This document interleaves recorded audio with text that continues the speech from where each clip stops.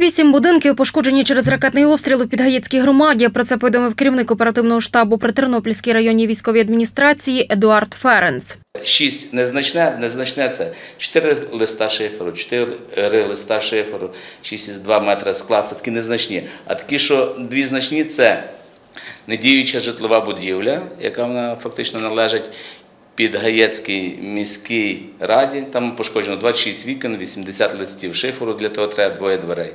І там, де біля людини, це житлова і господарська будівля, 105 листів шиферу треба, три вікна і одні двері. Це таке, що найбільше. Ці гроші, ці матеріали будуть придбані з резервного фонду, який створений при Підгаєцькій міській раді. Жертв немає.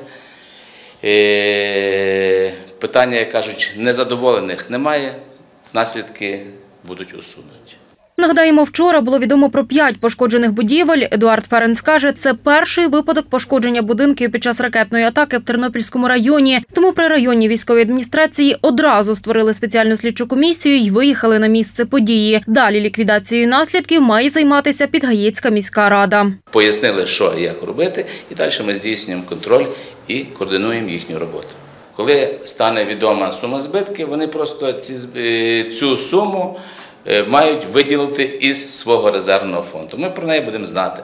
Загальну суму збитків ще підраховують, каже голова Підгаєцької міськради Ігор Мирена. За його словами, наразі виділили 50 тисяч гривень власникам п'яти пошкоджених будинків. У понеділок каже Ігор Мирена, проведуть експертизу, тоді й знатимуть, скільки ще потрібно грошей. За попередніми підрахунками сума може сягнути півмільйона гривень. А таких грошей в бюджеті громади немає, тому шукатимуть шляхи додаткового фінансування. Нагадаємо, під час нічної ракетної атаки 9 березня в селі на Підгаєччині уламками ракети пошкодило будинки. У будівлях повилітали вікна, двері, а також поламало дахи. Найбільше пошкодило ось цей будинок. Саме біля нього й впали уламки ракети. Власник хати на камеру говорити відмовився. Також пошкоджений недіючий будинок культури. Там немає вікон і дверей, поламана покрівля. Місцеві жителі, з якими ми поспілкувалися, розповіли, що чули декілька вибухів.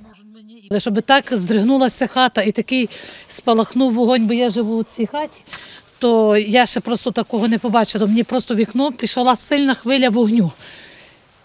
Тоді за хвилину, може, до хвилини часу пішов другий такий сильний удар. Я до чоловіка кажу, вставай, бо напевне, може, дрони, може щось я щось таке, то не подібне на таке, щоб десь здалеко, то ніби в нас десь в селі тут. без 15 четвертих.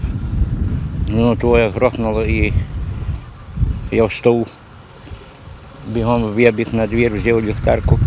Я не думав, що то. Я думав, що десь далі. О, а то, то я поки сюди прибіг, то ще три вибухи там було в тій стороні. Богдана Савицька, Оксана Галіяш, Андрій Бодак, Суспільне новини, Тернопільщина.